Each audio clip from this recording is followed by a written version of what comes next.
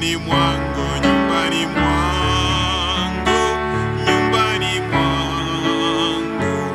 Nataka nimwone Yesu nyumbani mwangu.